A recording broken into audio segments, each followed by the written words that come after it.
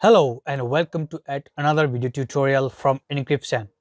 In this video, I'll show you how to change a Linux terminal that prompts something like dash bash dash 4.2.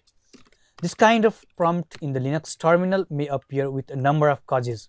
The one is uh, when you create a new user with the custom home directory.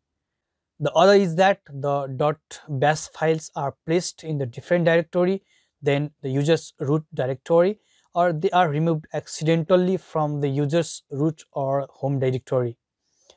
And the other cause may be that the prompt variable which is $ps1 is not set and the built-in default variable slash s uh, minus slash b dollar is used.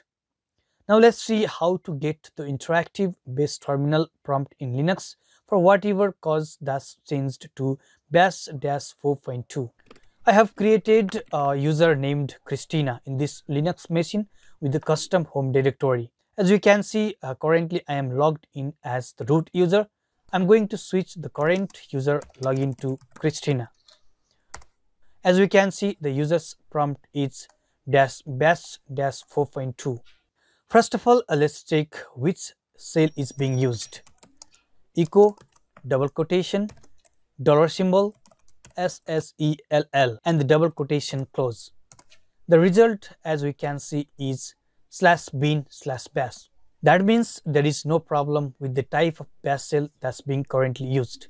Moving on, let's check in the user's home directory or root directory if the required dot .bash files exist.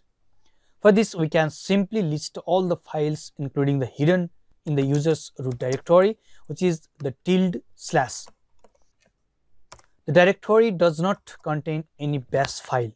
Before creating the .bash files on the user's root directory, it's better to check if the file exists on the different directory. Alternatively, the .bash files may be found on the slash etc slash skel directory. We can see the files there. Now, as the next step, we need to copy the two files to the user's home directory. Before you actually perform the copy operation, it's better to check the ownership of the home directory. If the home directory was created by the root user, you may require administrative privilege to copy the .bash files.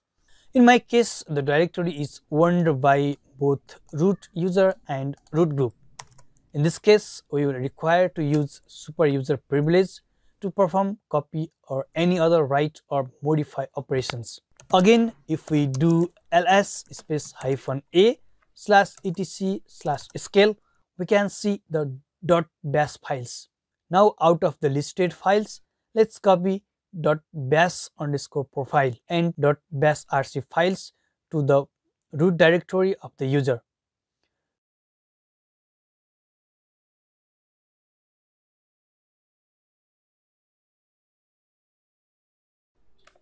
To verify, let's do ls space hyphen a space tilde slash.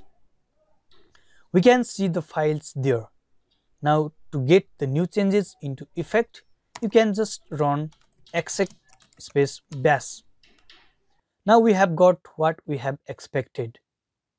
Okay guys, this is how we can change the Linux terminal prompt from dash bash dash 4.2 to more interactive and fancier prompt.